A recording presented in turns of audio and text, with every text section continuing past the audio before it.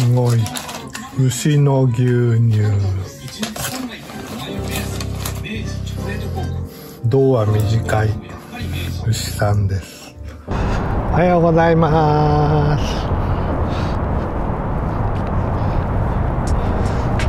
今日も有明からでございます。今日うち出るタイミングがちょっと遅くなっちゃったんですけれども僕も忘れ物したりで取りに戻ったりして予定より10分遅れで家出てでもスムーズに来れました。今日は高速も使わずに来れたんで300円使わずに済みました。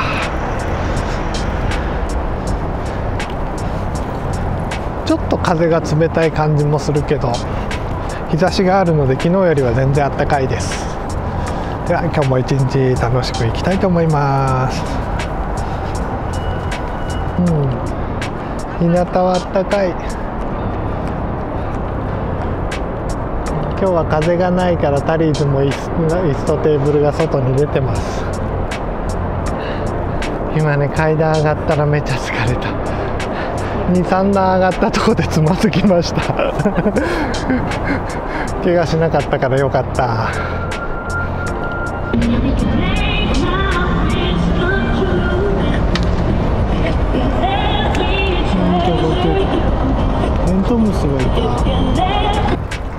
え、っとなんか準備してます。ビールフェアやるっつって言ってたのここでやるのかな。26日明日からってやってたからそれの準備かもしれませんね。ビールももう1年ちょっと飲んでないかな。うん去年の3月ぐらいからだからね。まあでも和子さんが病気治ったら乾杯って、うん2人で美味しいビールを飲みたいと思います。それまでもうちょっと我慢しようね。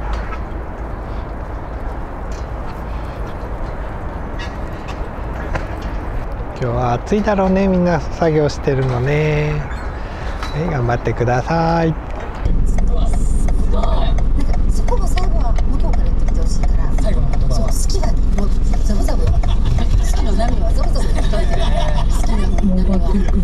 スなのかね。うん、そうだね。でも分かりやすく言った方がいいかも。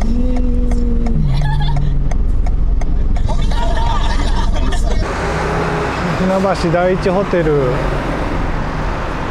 コロナ専用のホテルとしてずっと使ってたんですけれどももうそれからは開放されたみたいですね。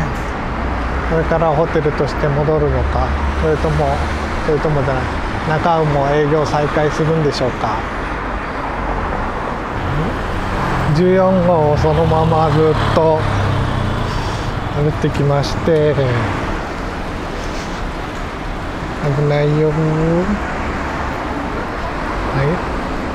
南郷の桜屋さんでお弁当とかいろいろ買っていきたいと思います。何にしよう。あ草餅がある。えっ、とここ市役所の近く。前に多摩川という旅館があったとこ。そこに新しくマンションが完成したようでございますね。もう結構入ってるかな。すごいシャンデリアとか見える。高級マンションっぽいですね。これの配達あるのかな、うん、ここはベランダにガラスに干してもいいんだね。ちょっと間に合わずにパルシステム来ちゃいました。しっとりバームクーヘン、グレーズがけ、あと冷凍食品が何個か来ておりました。桜屋さんで、こっちがからし菜の太巻きと、これが穴子の太巻き、それとおにぎりのセット、買ってきました。晩ご飯はおにぎりもお弁当で持ってく予定です。はい、ではお昼いただきます。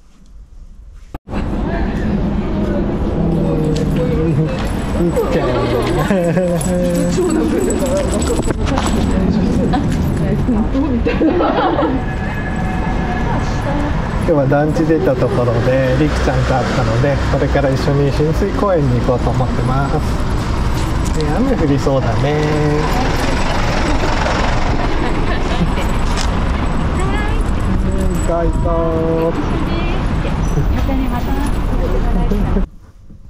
なんと箱が二重になってて着きました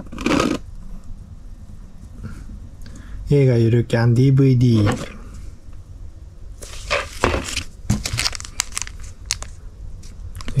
えっとキャンパスのなんでミニキャンパス付きです、絵はこんなの光っちゃうかな。みみちゃんこれは食べれません。食べれませんこれは。